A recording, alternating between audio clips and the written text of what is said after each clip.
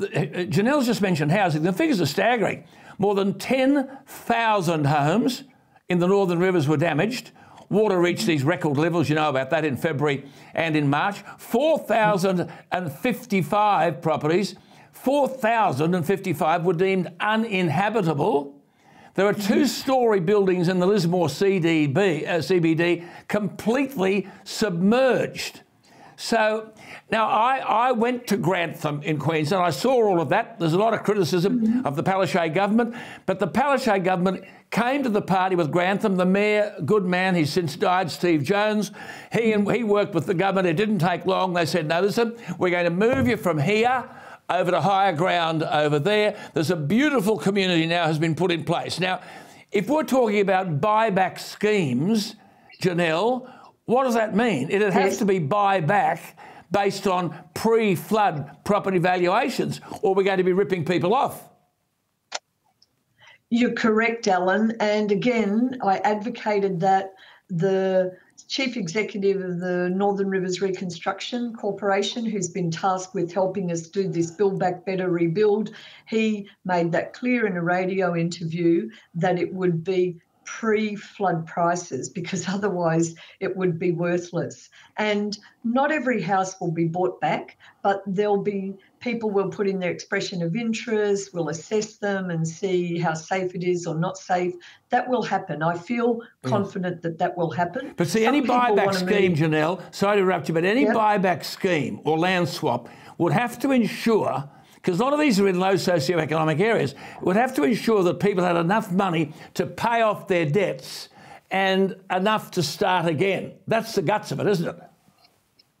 It is the guts of it, so that we put them in a, in a situation where they're not further indebted and that's what we'll have to yes. work through. That will take some time, but in the interim, the what I wanted to come to was the housing task force. They said we'll build pod villages. That's fine. A few pod villages, great. One's being built out near the university, great. There's one out at Wollongbar. We don't need pod villages everywhere.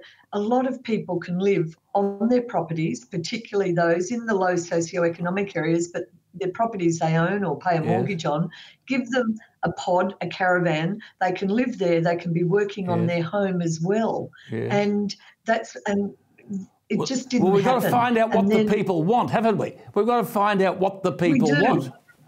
I mean, some of these we are beautiful. Homes. Some of these are beautiful homes built 120 years ago. I mean, have you been They're permanently? are you being permanently consulted on this? Not on the housing. It was under Resilience New South oh. Wales primarily, the rollout of the pod villages, etc. And I did say to them, why aren't you looking at all options? Work out who owns their property, ask them if they want to be there, work out who rents, ask the people who own it, the landlord or the landlady, can they go back in a caravan and pod while you rebuild? You know, I said, just go and ask them, ask them these things. Relatives have offered for people to put the caravan or the so-called yes. pod, the tiny home, on their property. Yep. Some farmers. I said there's a range of things we could do, and that just wasn't. And it hasn't done. been done. It, like it's August. It's no, August. This no happened. In, this happened in February, and we're still waiting. I mean, Queensland announced a 350 million dollar home buyback scheme in March. That was a month after the floods hit there. 350 million. 500 people are going to sell their houses back to the government. When will we get a response like that here?